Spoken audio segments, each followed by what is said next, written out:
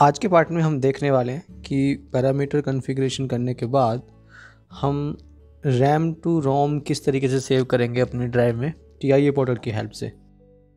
T I A portal के project view open करने के बाद हमें अपना ड्राइव ऑब्जेक्ट को एक्सपेंड कर लेना है।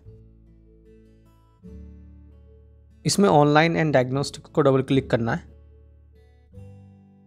ड्राइव को ऑनलाइन लेने के लिए गो ऑनलाइन बटन पर दबाएँगे, जो कि मेन्यू बार में दिया हुआ है। इसके बाद फ़ंक्शंस मेन्यू को एक्सपेंड करके उसमें बैकिंग अप स्लैश रीसेट पे हमें क्लिक करना है। Save RAM data to E PROM यहाँ पे हमें सेव बटन दिया हुआ है, उसको हमें क्लिक कर देना है। अब आप देखेंगे कि save RAM to RAM data हो रहा है। जैसे ही ये पॉपअप गायब हो जाएगा तो इसका मतलब है कि RAM to ROM data save हो चुका है। धन्यवाद।